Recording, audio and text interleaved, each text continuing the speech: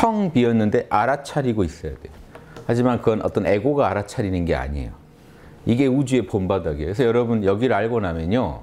누구나 신이 뭔지 알아요. 신은 현상계 돌아가는 이, 이 현상계의 어떤 이원적인 세계에도 물들지 않고 텅 비어서 알아차리고 있는 자리가 있다. 근데 그 자리 힘으로 현상계가 돌아가요. 내 마음이 그렇게 돌아가고 있으니까 여러분 마음이 사실 텅 비어 있다니까요. 텅 비었는데 그 텅 빔의 작용으로 생각, 울고 웃고 따지고 오감을 맛보면서 하루를 바쁘게 살고 계시죠. 근데 뿌리에 들어가면 텅 비어 있다는 충격적이지 않나요? 나라는 것도 없어요, 거기는. 참나라고 하지 그 에고의 나는 아니기 때문에 참나라고 부른다 한들 내 에고가 아니란 말이에요. 텅 비어 있는 우주적인 에너지에 에너지의 뿌리를 받고 우리가 부지런히 계산하고 따지고 돌아가고 있다. 우주적인 에너지예요. 우리 각자가 콘센트 코드 코드 뽑아 꽂아가지고 각자대로 전기 기구를 신나게 돌리고 있는데 그 근원에는요 우주 공용 에너지라고 사실은 이 참나 자리는 그 자리가 우리 본판이고 각자 작동하는 걸 보면 다른 것 같은데 우린 우주 전체 가 우주 전체가 한 근원의 뿌리를 받고 살고 있습니다. 텅 빈 알아차림에 전지전능이니 뭔 말을 해도 왜냐하면 텅 비어 있어요. 이 자리에서 우주가 굴러가니까 전지전능하다고 할 수밖에 없죠. 그런데 텅 비어 있어요. 지금 여러분 생각, 감정, 오감이 숨가쁘게 돌아가는데 그 근원에 텅 빔이 있는지 보세요. 이걸 한번 느끼고 한번 처음 체험하면 막 난리 납니다만 늘 체험하면 이제 지겨워요. 그게 그거죠. 그래도 달라요. 그거 느끼면 내 삶이 달라지. 이제 차이를 아는 거지 막 환희하고 이러는 건 처음에 그러는 거고요. 알고 나면 이제 쓰고 사는 거예요. 이거 안 쓰면 더 힘들어지니까 써야죠.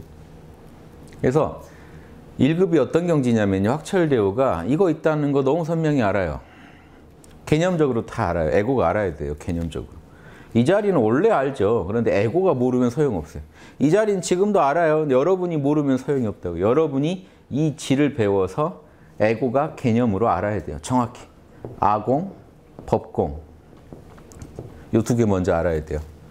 그리고 에고는 개념적으로는 지혜로는 이, 이, 공부를 해야 되고 에고는 선정바라밀론은 무슨 공부를 해야 되죠? 이 공과 늘 접속할 수 있어야 돼요. 사실 원래 접속에 있어요. 여러분의 뿌리인데 어떻게 몰라요? 원래 느껴지는 거예요. 그거를 이제 선정의 힘으로 확실히 하는 거죠. 그래서 원하면 강도도 높이고 강도를 낮춰도 절대 모를 수는 없어요. 강도를 높이면 다른 게 안 보이고 공만 보이고 강도를 낮추면 생각, 감정, 오감, 현상계가 다 들어오는데 들어와도 여전히 공은 있어요. 공의 근거에서 내가 돌아가는 거니까. 한 생각이 지금 어서 일어나는데 여러분 생각 하나가 제 얘기 듣고 있는 그 자리가 뭔데요? 공이 듣고 있어요. 이 정도는 그냥 이제 아셔야 돼.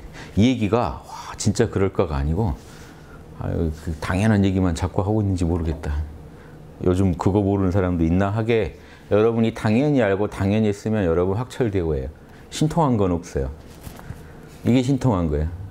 다른 신통한 게 아니라 그냥 이게 일상화 되면요. 여러분 삶은 달라집니다. 지금 같이는 안 사세요. 지금 많은 분들이 또 체험하고 계시겠지만 그냥 이제 이거에 대해서 어떤 의심도 없고 누가 뭐라고 해도 의심이 없고 아니 내 안에서 늘 발견하고 만나고 있는 자리를 남이 없다고 한들 그게 없어지고 있다고 한들 뭐 새로 생겨납니까? 그냥 그런 거지. 이 정도 쓰고 사시기를 바래요.